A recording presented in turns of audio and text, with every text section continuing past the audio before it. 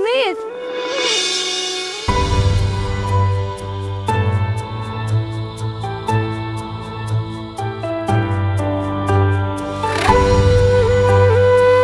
यो सब के हो सीता?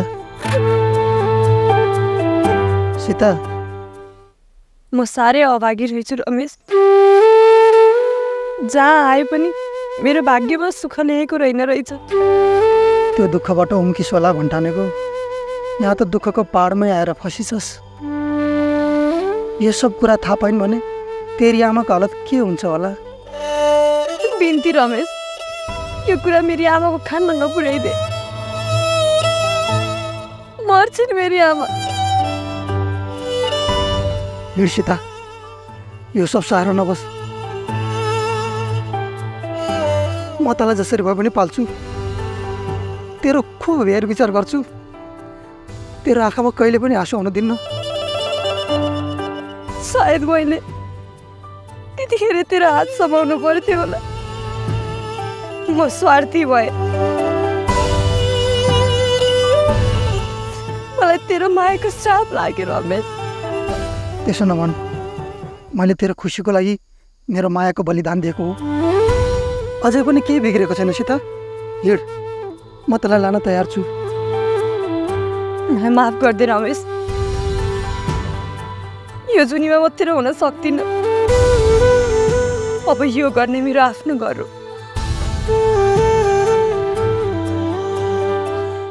तँलाई थाहा छ मलाई ससुरा बाह्र नन्दले कति धेरै माया गर्नुहुन्छ म एघार क्लास पनि भर्ना भइसकेँ अब जसरी हुन्छ खुब मेहनत गरेर पढ्नु छ मलाई विश्वास छ एक दिन सबै राम्रो हुनेछ। म त यही चाहन्छु सधैँतिर राम्रो होस्।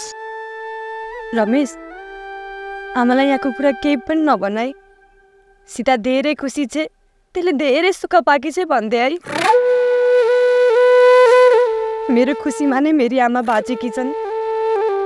यदि मलाई दुःख छ भन्ने थाहा पाइन् भने मेरी आमा एकछिन पनि बाँच्दिनन्। साँच्ची तेरो आमाले तसँग बोल्न पाएन हुन्थ्यो भन्दै हुनुहुन्थ्यो। बाको फोन छ नि। ला बाको नम्बर त मलाई यादै छैन। म यसो गर्छु मेरो ससुराबाको फोन नम्बर कसैको हातमा पठाइदिन्छु। अनि फोन गर्न लगाउनुहुन्न मैले बाजेको नम्बर ल्याएको छु। ए यसमा फोन गर न जान्छु ल। रमेश बेला बेलामा हाम्रो घर गएर मेरी आमाको सन्चो बिसन्चो सोध्दै गर्दैन तैँले चिन्तै लिन पर्दैन। आजकल त बिहान बेलुकै गएर आमालाई सघाउने गरेको छु। तेरो आमा मेरो पनि त आमा हो नि होइन र? जान्छु ल।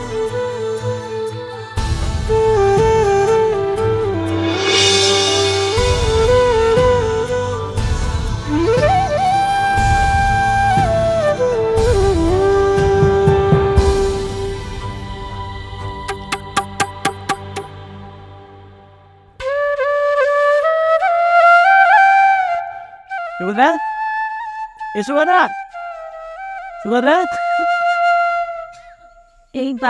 नमस्कार छोरी सीताले फोन गरेकी थिए ए के भन्यो भाइले अब तिमी यता व्यर्थमा चिन्ता गर्छौ तिमीले छोरी सुखी छ भन्दै थिए बारे सोचेको भन्दा धेरै सुख छ मलाई हे भगवान् धन्यवाद छ दिदी धन्यवाद भगवान्लाई होइन मलाई देऊ न मैले केटा खोजे हो नि। तपाईँलाई पनि धन्यवाद बाजे। तर मैले पनि एकचोटि बोल्न पाए हुन्थ्यो। कस्तो न्यासो लागेको छ स्वर सुन्नु मन लागेको छ बाजेको अहिले गर्छ। मैले भनेको छु घर पुगेर आमासँग कुरा गराउँछु भनेर।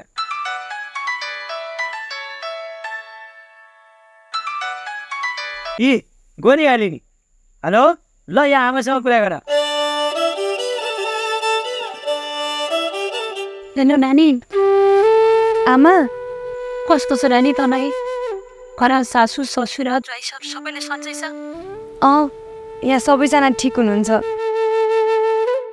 तपाईँलाई कस्तो छ आमा? मेरो के कुरा गर्छिस्? त खुसी छेस्। अब मेरो सबै रोक्नेको भयो। त्यसो भनेर धेरै धपडीको काम गर्ने होइन नि त्यहाँ। ल ल जति गर्नु थियो गरिसके। अब एक्लो ज्यान हो म जसरी पनि पालिहाल्छु। तैँले मेरो चिन्ता गरिरहनु पर्दैन। बरु यसो ज्वाइँलाई लिएर त आँखी भयो भन्थ्यो बिहा गरेर गएको छोरी एकचोटि ज्वाइँ छोरी त आउनुपर्ने हो नि। हुन्छ म ज्वाइँलाई भन्छु। भन्छु भने कि? पैसा फोनमा कुरा गरे कि? धेरै फोनमा कुरा गरेर पैसा सक्ने होइन। गाईको भगाहरू सोध्नु छ गाईलाई घाँस काट्नु छ आमा म पछि फोन गर्छु ल। ल ल। तेरो काम थियो होला अहिले राख्थे परै घर गएपछि सासु ससुरा लोग्रीको चित्त बुझाउनु नै तेरो धर्म हो। आफ्नो धर्मबाट कहिले विचलित हस् आमा। आरामै हुनुहुन्छ नि आमा होइन? है। कहाँ छ त्यो जोगते किन र सर? के भयो? त्यसले घिसिङको टाउको फुराइदिएको छ अनि घिसिङले वडामा निवेदन दिएको छ। त्यही भएर वडा अध्यक्ष अहिले यहाँ आउनुभएको छ। छिटो बोलाउने त्यसलाई। त्यसले मेरो टाउको फोरेको छ। म त्यसलाई छोड्दिनँ। हे भगवान्। यही दिन देख्न बाँकी थियो जगते ए जगते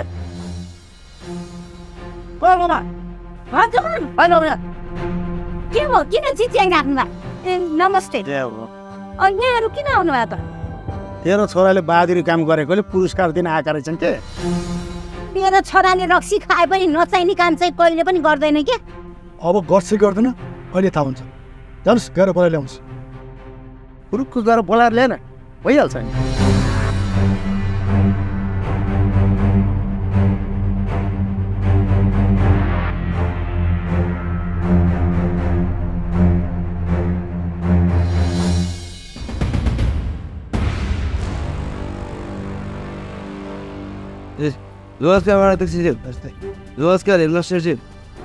उसको टाउ हो?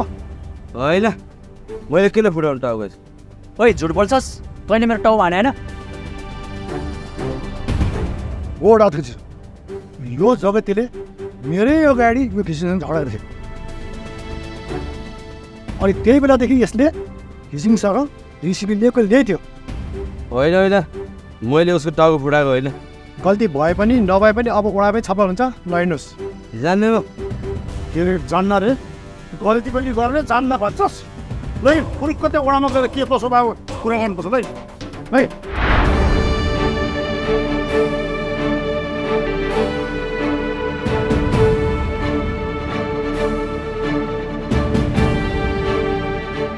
हे भगवान् के पो देख्नु पर्छ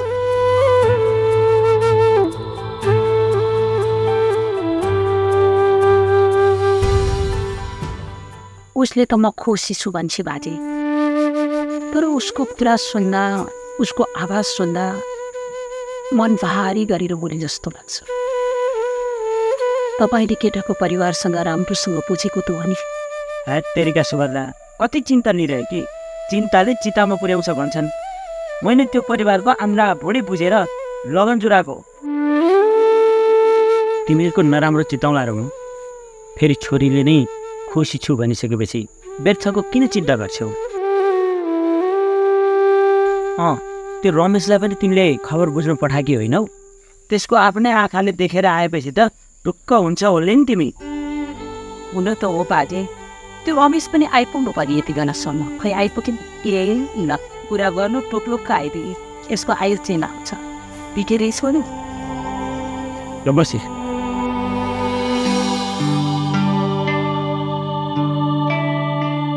लौ रमेश भन्ने त यिनलाई सीताको खबर कस्तो छ? अहिले भर्खर सीताले फोन गरेकी थिए। म खुसी छु भन्दै थिएँ। तैपनि यिनलाई छोरीले कतै दुःख पाए कि भन्ने पिरोले खाइराखेको छ भन्दै त तैँले त आफ्नै आँखाले देखेर आइस् नि। बाबु सीता कस्ती भएछि दुब्लै छ कि मोटाइ छ पहिलेभन्दा अलिकति मोटा कि चाहिँ चिन्ता लिनु पर्दैन आमा। त्यो निकै खुसी छ। सासू ससुरा नन्द लोग्ने सबले माया गर्छन् त्यसलाई। मैले नै आमालाई तसँग बोल्न मन छ भनेर बाजेको नम्बर दिएर आएको। अँ साँच्ची एघारमा भर्ना पनि भइछ त्यो अब त्यसको इच्छा पुरा भयो। अब त ढुक्क भयो होला नि। बाबु। तैँले मेरो मनको बोझ खर्ला खुर्पै घटाइदिइस्। त भोकाएर होलास् प म एकैछिन आउँछु पर्दैन आमा। ढिला हुन्छ। उता फेरि काकाले कहाँ आयो होला भनेर मार्ने बेला भइसक्यो। भोलि बिहान आउँछु नै। भुटिया छु के? एक मुठी खाएर जान त भोका छस्। खाँदै गयो होला क्या म खै गएँ आमा। ल बाजे। आमा त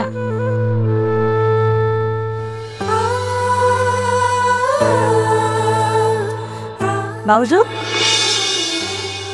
के भयो भनेको दाइलाई खोइ त्यो घिसिङ कि के भन्ने मान्छेको टाउको फुटाइदिनु भएछ। अरे धेरै दुःख दिनुभयो दाइले। किन परेको बुद्धि होला? भाउजू मेरो दाइलाई सुधारिदिनु न। तपाईँको दाइलाई सुधारी ठेक्का लिएको छु मैले दुनियाँको छोरा बिग्रिन्छन् आफू सुधार्न सक्दैनन्। अनि अर्काको छोरी बिहे गर्नु ल्याएर गला पासो लगाएर सुधार भन्छन्। तपाईँहरूले मलाई झुट बोलेर यस्तो जैनासँग बिहे गराइदिनु भयो। धोका दिनु हो तपाईँहरूले मलाई।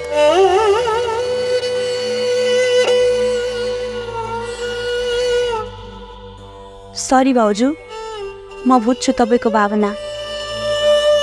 मेरो दाइको कारणले तपाईँको पनि जिन्दगी बर्बाद हुने भयो।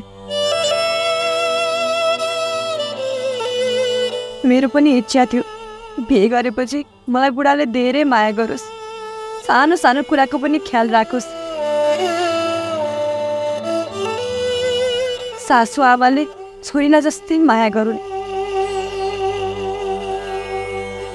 घरको नोकर्नी होइन रानी बनेर बस्न भयो र सबै इच्छाहरू छकनाचुर भयो।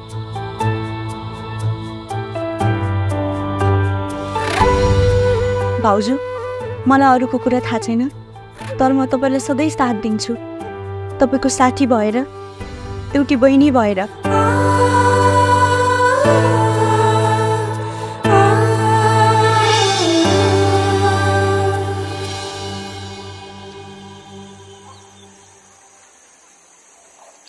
रमा रमा त्यो बाहिर आउँछ। ए आइपुग्नु भयो तपाईँहरू। अनि के भयो त? के भयो अरे? हिसिङको टाउको फुटाएको त रहेछ नि यसले औषधि उपचार गरिदिन्छु भनेर मिलापत्र गरेर छुटाएर ल्याएको मैले। त्यसो नगर न बाबु। दुनियाँसँग झगडा गर्दैन हिँड त। तर केही भयो भने हामी के गर्ने? त्यो साले घिसिङले गर्दा हेर्साले मलाई स्कुलबाट निकालेको छ। त्यसलाई त्यसै छोड्छु म। थुइक्क गर्दा। भर्खर दसवटा जोडेर छुटाएर ल्याएको कुरा बिर्सिस् तैँले हजुर फोइन आउँछ। तँ जस्तोलाई त लगेर खोरमा दुई चार दिन चाप्नु पर्ने अनि मात्र बुद्धि आउँछ तेरो। अब नगराउनु धेरै छोरेलाई। त चाहिँ के हेरिराखेको नि जा भने खाजा बनाएर ले।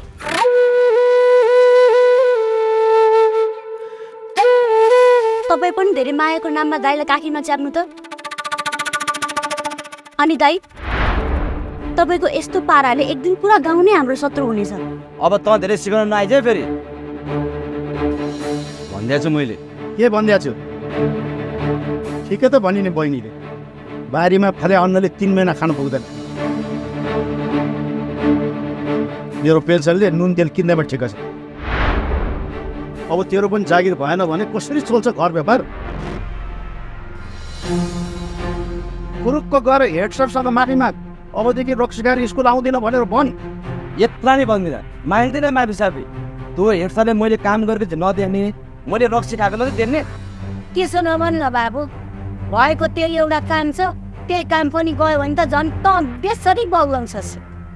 खुनुक्क गएर माफी माग्नु क्या दाई भोलिपछि तपाईँको पनि छोराछोरी हुन्छ। अनि कसरी पाल्नुहुन्छ? हेर जे जस्तो भए पनि त्यो स्वर मनको खराब छैन। बरु एकचोटि तँसँग मै पनि गएर कुरा गर्छु। हेर जगत तँसँग स्कुलमा सबै सर मिसहरू रिसाएका छन्। त्यो जगत नजिक आएकी त वास्य रक्सी गनाउँछ भन्छ। अनि केही भन्यो भने उल्टै मुख मुखै लाग्छ भन्छ। सोमबारजी तपाईँ आफै भन्नुहोस्। मैले यसलाई कतिन्जेल ढाकछोप गरेर राखेँ। सर एकचोटिलाई चाहिँ माफ गरिदिनु पऱ्यो सर। अब आइन्दा यसले रक्सी खायो भने म यसलाई स्कुलै पठाउँदैन। एकचोटिलाई चाहिँ सरले माफ गर्दैन। ओइ त माफक गल्ती भयो सर। आइन्दा रक्सी खाएर आउँदैन। मलाई मात्रै भनेर हुँदैन। स्कुलमा सबै सर मिसहरूसँग पनि माइक माग्नुपर्छ हुन्छ। अनि सोही त्यो घिसिङसँग पनि गल्ती भयो आइन्दा झगडा गर्दिन भन्। मामी मागिसक्यो देउतासँग कतिपल्ट माग्नु पऱ्यो आफूले गल्ती गरिसकेपछि सयचोटि पनि माफ माग्नुपर्छ। माफी मागेर सानो हुन्छ यत्रा नै माग्दिनँ। ल्याएर सुमारी फेरि यसले न्यु खोज्यो। तपाईँ आफै भन्नुहोस् यसलाई कसरी काममा राख्ने? माफी मागेर कोही मान्छे सानो भएको छ? यसोले जे भन्नुहुन्छ त्यो गर न खुरुक्क। हेर्नु समाजी। तपाईँको वचन हार्न नसकेर मात्रै मैले यसलाई काममा लगाउँदैछु। अब फेरि पनि यसले खिसिक्क केही गल्ती गर्यो भने मलाई चाहिँ माफ गरिदिनु होला। हुन्छ सर। तपाईँको गुण भयो म माथि। हस् सर अहिले लाग्छ। ठिक। छ जाउँ जगत याद गर। आइन्दा फेरि यस्तो गल्ती नदोहोऱ्योस्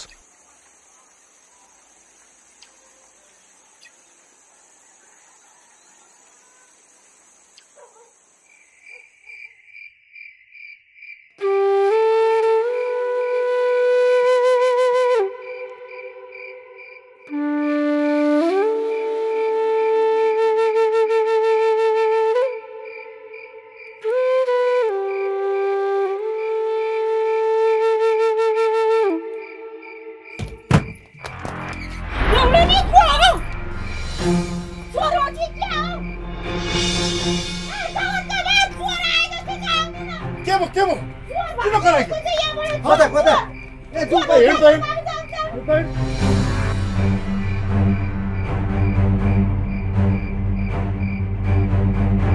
के भएको खोइ को भाग्यो जस्तो त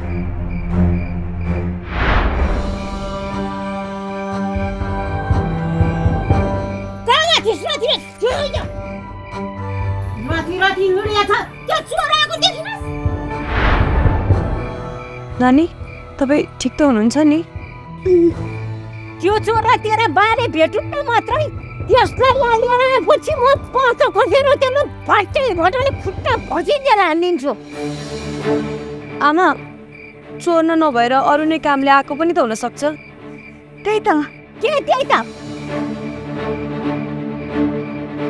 यो राति त्यो लुसुक्क घर पछाडि के कामले आउँछ? त्यसलाई भेटौँ न मात्रै मैले जाने छ। अँध्यारोमा कुत्ता भाग्यो भाग्यो भेट्दै भेटेन उसले अनुहार मात्रै देख्न पाएको भए चाहिँ भोलि घर घरमा छिरेर खोज्नुहुन्थ्यो यो गाउँबाट चाहिँ त्यो चोर होइन जस्तो छ। पारी गाउँबाट आएको जस्तो छ। हो बा त्यो पारी गाउँकै चोर हो। तँलाई चाहिँ कसरी थाहा भयो? कति न उसैले देखेँ यस्तो। बा फेरि गाउँमा चोर पस्न थाल्यो। अब क कसको के के चोर्नी हो हे भगवान्। अब के को हे भगवान् नि अब आफ्नो ट्याङ्काको साँचो बलियोसँग लाउने अनि अरूले चोर दोष नदिने। ल हिँड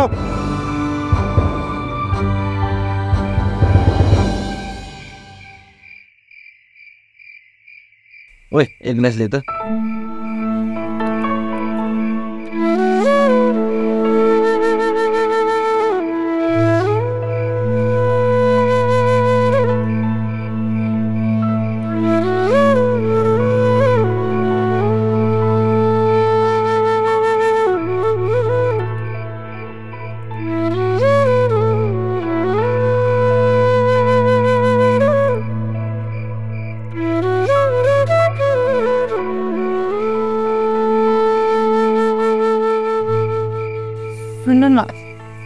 एउटा कुरा भन्नु थियो?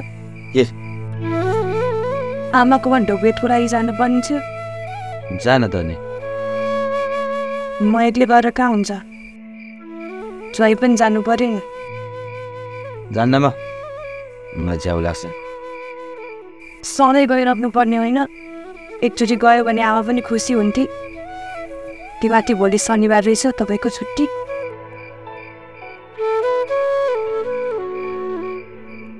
ल ल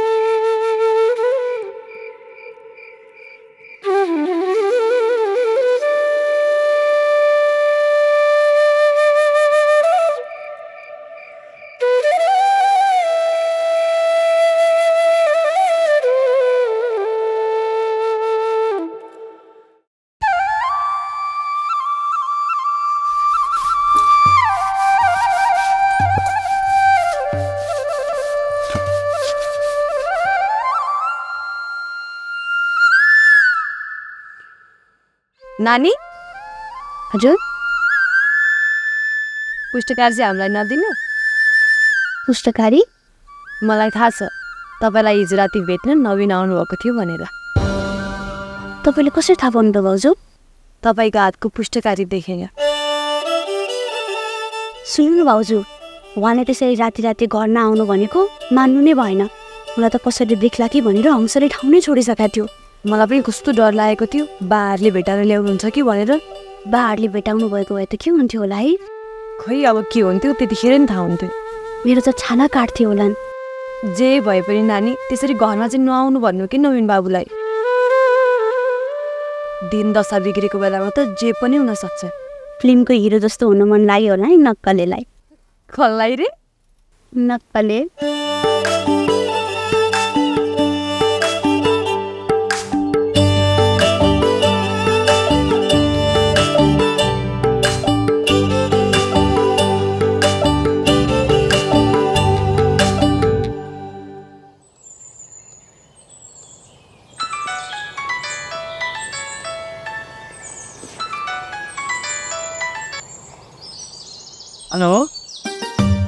हेलो बाजे आरामै हुनुहुन्छ? आरामै छु। को भन्नुभयो? म सीता। ए के छ नानी तिमीलाई? सबै ठिकै छ बाजे। बाजे सुन्नु न। अँ भन त। आज बेलुकासम्ममा ज्वाइँ र म आउँदैछु भनेर भनिदिनु है आमालाई। ए हुन्छ हुन्छ म भन्दैछु। नबिर्सी भनिदिनु है बाजे। ल ल नानी ल। हस् बाजे।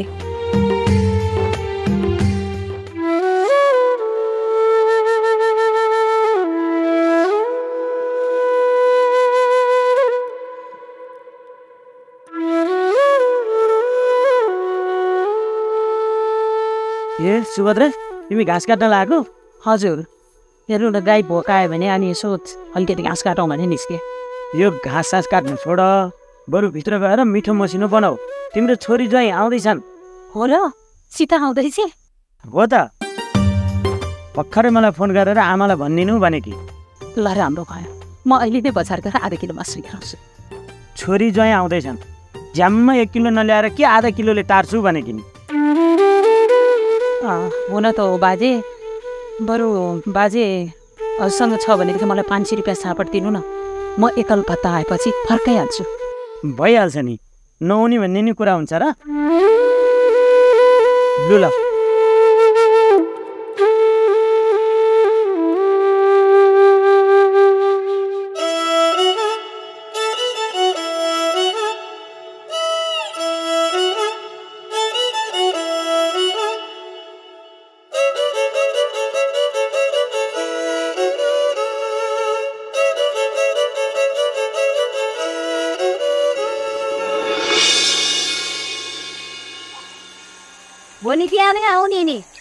अलमल गरेर बस्ने होइन। हुन्छ आमा। हेर छोरी घर छोडेर कतै नजा। चोरको बिगबिगी छ फेरि घर सर फोडिदिएला नि चोरले। ल ल हिँड। भजन सुरु भइसक्यो होला। बुहारी। राम्रोसँग छ है।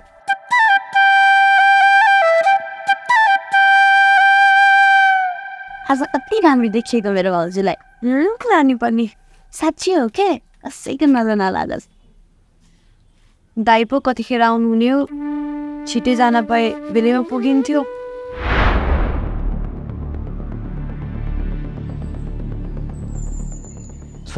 यस ए काग पनि पर्दैन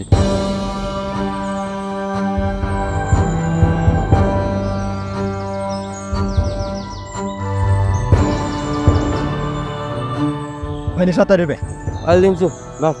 ए मुला तँ तास चाहिँ उधारोमा नखेल त। त्यही त। ल तेरो काट बा। ल।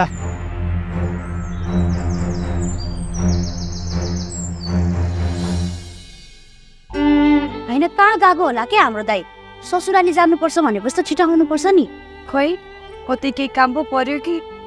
के काम पर्यो यहाँ शनिबारको दिन? कतै जाँड धोकेर बसिरह होला। खानुभएको छैन होला। मलाई त तयार भएर बस्नु म छिटै आउँछु भन्नुहुन्थ्यो कहाँ मुन्ट्यो त त्यसो भए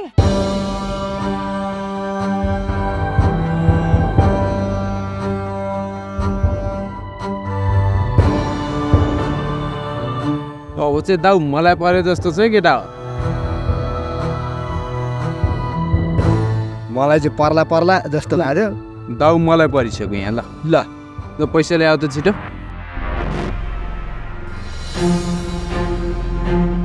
पैसा ल्याए छैन मजा पैसा चाहिँ अनि पैसा नभए के तास खेल्छस् त कस्तो मान्छे हो छिटो ल्याऊ अहिलेको चाहिँ